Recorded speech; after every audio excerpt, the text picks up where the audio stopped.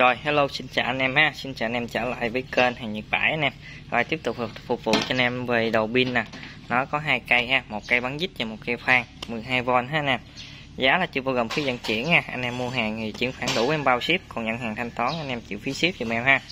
Rồi đầu tiên một con ờ, uh, DML ha. Đó. Con bắn dít nha anh em Hitachi.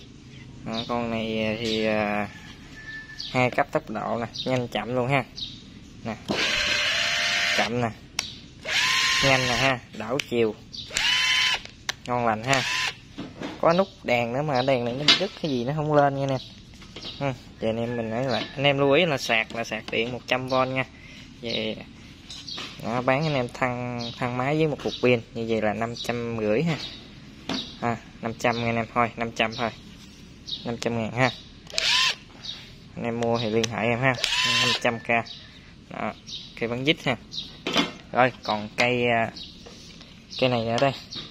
Cây à, 12V của à, uh, China ha. Con này Hitachi luôn. Phan anh em.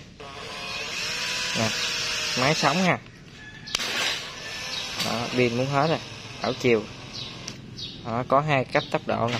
Đó, rồi trượt luôn ha. Đầu autolock ha rồi, con này bán cho anh em là bốn trăm rưỡi anh em. Ha bốn trăm rưỡi. Chuyển khoản đủ bao ship luôn.